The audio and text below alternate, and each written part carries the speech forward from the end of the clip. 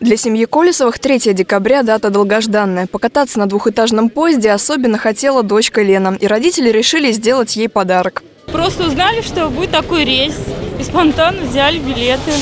Специально, да, едем посмотреть Москву на этом поезде. Места, конечно, выбрали на втором этаже и остались довольны. Полки мягкие, над каждой светодиодной лампой есть кнопка вызова проводника. На второй этаж ведет небольшая лестница с поручнями, довольно крепкими, с двух сторон, и всего 8 ступенек. Наверняка многим интересен вопрос, какая высота у потолков. Для примера, мой рост 165 сантиметров. Если вытягиваю руку, потолка я не касаюсь. В составе такого поезда 8 купейных вагонов. Есть места для инвалидов. Двухэтажные поезда – это замена устаревшему плацкарту. Разница в условиях большая, но существенно на стоимости билета это не отразилось. Цена билета минимум на 30% дешевле, чем в купейном вагоне одноэтажного исполнения.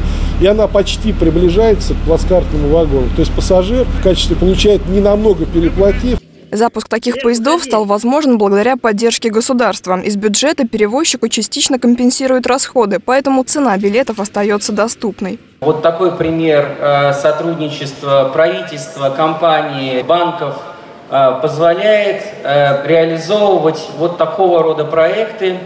Мы в этом году реализовали с помощью нашей программы порядка восьми проектов в транспортном комплексе на общий объем около 85 миллиардов рублей. Направление Самара-Москва стало пятым маршрутом для двухэтажных поездов. Первый запустили еще в 2013 году. Если обычный поезд перевозит 400 человек, то двухэтажный в два раза больше. Мы существенно увеличиваем э, транспортные емкости для предоставления услуг железнодорожного транспорта. И на этой основе в последующие этапы мы будем работать по сокращению времени в пути между Самарой и Москвой. Двухэтажный поезд «Самара-Москва» будет ходить ежедневно. Время в пути 15 с небольшим часов. Валерия Макарова, Константин Головин. События.